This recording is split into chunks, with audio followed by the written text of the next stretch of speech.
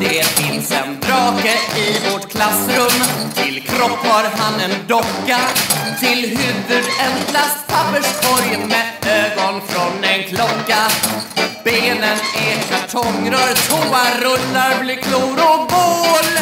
Tungan är farsans gamla slips, därför är den full av hål.